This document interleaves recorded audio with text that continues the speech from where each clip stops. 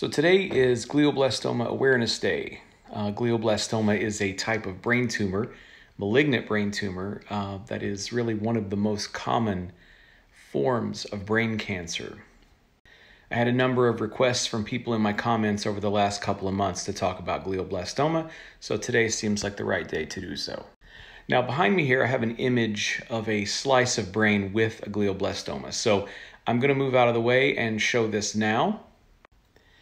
All right, so you can see uh, it's quite obvious, even if you've never seen brain tissue, this area here under my finger, vaguely heart-shaped area.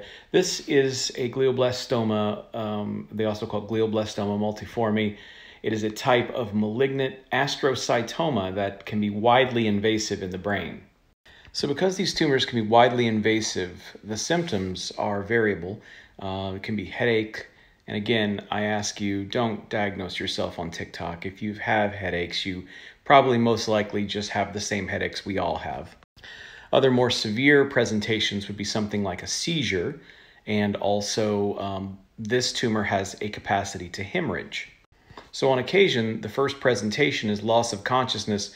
Person goes to the ER, they put him in the CT scanner, and they find a hemorrhage. And I'm going to show you what that looks like now. So again, you don't have to have neuropathology background to see that dark brownish area uh, is actually an area of hemorrhage in a glioblastoma. Now, as I said earlier, these tumors uh, are very dangerous tumors. And uh, from a forensic perspective, uh, do I see them? And the answer is essentially never. But you have to remember the job of the forensic pathologist is to diagnose death when it is unexpected.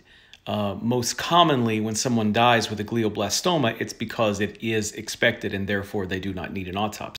Driving this point home is this table behind me, which uh, is a series of almost 55,000 autopsies done over a 20 year period in one uh, medical examiner office and they went through and they looked at all the cases uh, that had brain tumors. Most common was meningioma, which is a benign brain tumor. We'll talk about that soon. Secondly, astrocytoma, which technically glioblastoma is an astrocytoma. And third, glioblastoma, which is the high grade form or a grade 4 astrocytoma. Only six cases out of 55,000 autopsies. The difficulty with this tumor is that uh, it infiltrates at the edges. That makes it difficult to surgically resect.